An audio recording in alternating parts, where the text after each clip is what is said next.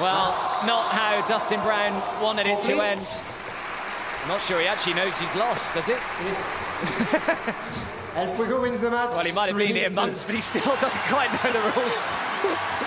so a nice way to finish for Fernando Verdasco, who comes through against the artist in sudden death, in baking hot conditions.